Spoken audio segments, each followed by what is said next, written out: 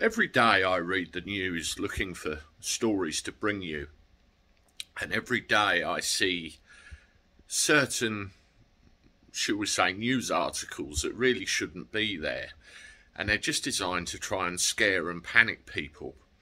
And as you go along, you realise you have to take your news from various different sources to form your opinion and the days of believing what the BBC, ITV, and all the other mainstream media outlets tell you is long, long gone.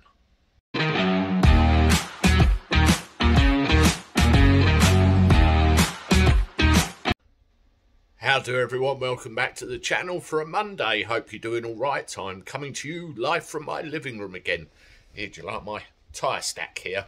Well, it's an inflatable thing. But uh, yes, it's all about tyres when you drive on the road, especially at winter time.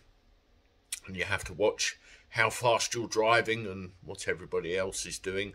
It's the same thing we get every time a bit of snow falls on the ground.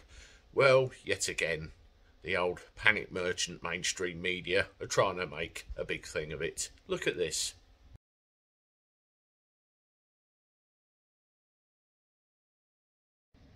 It's getting a bit boring all this now, isn't it?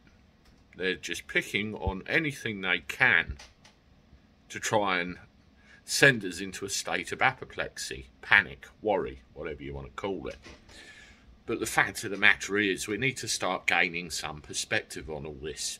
You look at the recent trouble we've had a little dropped comment in the mainstream media that we're running out of fuel, and then we create our own fuel shortage that never happened in the first place.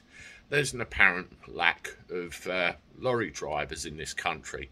I see loads of the buggers every day driving up and down the motorways, but there is a real big problem with lorry drivers. The pay's crap and the conditions are crap, whereas a lot of other people blame Brexit. I, I did a video a short while back, which has got thousands and thousands of views now, where I literally just read out a first hand account from a lorry driver.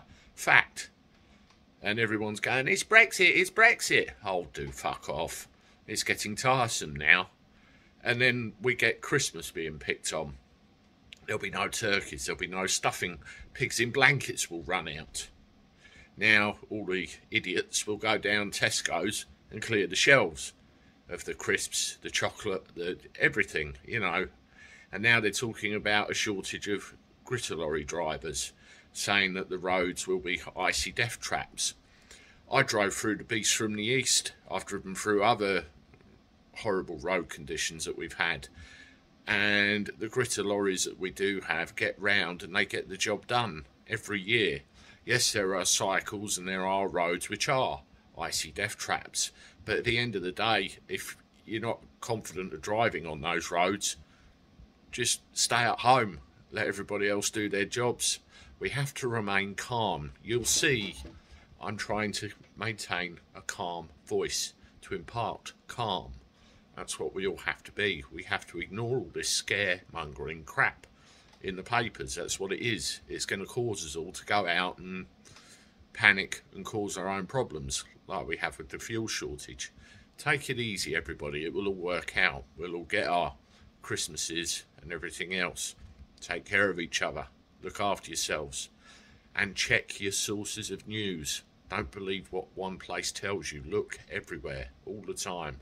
Don't believe the crap that the MSM feeds you. Anyway, I'm off. See you later with another one. Toodaloo.